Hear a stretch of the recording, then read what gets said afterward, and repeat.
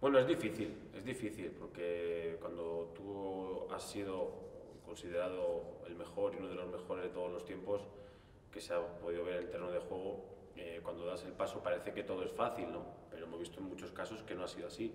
Pero yo creo que, es que Zidane tiene, tiene ese manejo de la situación, eh, es un entrenador joven actual de, pues eso, de, dar protagonismo más a los jugadores. Eh, yo creo que cuando veo a Zidane alguna vez en rueda de prensa, me recuerda un poco a, no sé, en nuestro caso, a cuando estuvimos con Vicente del Bosque, ¿no? que siempre Vicente ha sido una persona eh, que no ha querido nunca el, foco del protagonismo, siempre lo ha dejado más a los jugadores. Me recuerdo el año 2000 al 2004, 2003 cuando estuvimos con Vicente, que fue así y a Zidane le, le recuerdo un poco parecido.